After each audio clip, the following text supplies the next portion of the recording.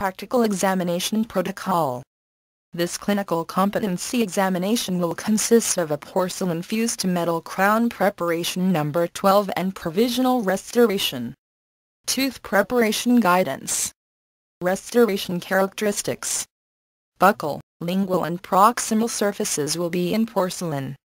Occlusal surface in porcelain. No metal collar on buccal surface.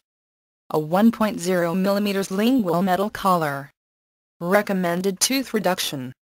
2 plane buccal reduction. 1.2 to 1.5 mm with a 1.2 mm shoulder margin. Lingual reduction 0.5 to 1.5 mm with 0.5 to 0.7 mm chamfer margin.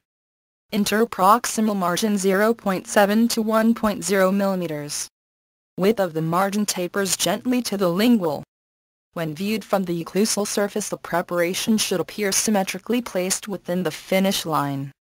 Occlusal reduction is 2.0 mm for functional surface reduction and 1.5 mm non-functional surface reduction. No sharp line angles. Place functional cusp bevel. Finish line. Margins will be placed at the crest of the rubber gingiva. If rubber gingiva is compressed, place margins 0.5 mm occlusal to the CEJ. Adjacent teeth, proximal to those being prepared should be intact and may not be removed, or excessively wedged, during the examination. Adjacent proximal surfaces should be smooth and polished. Fabricated jet acrylic provisional restoration with a vacuum-formed matrix. Provisional crown needs to have at least one occlusal contact with the opposing dentition, and proximal contacts with the adjacent teeth are required. Your code number will be placed on the top aspect of the dentiform, and will be returned to the appropriate cubicle in the PCD grading room at the end of the laboratory period. You may sign for one replacement tooth. These will be located in the core laboratory.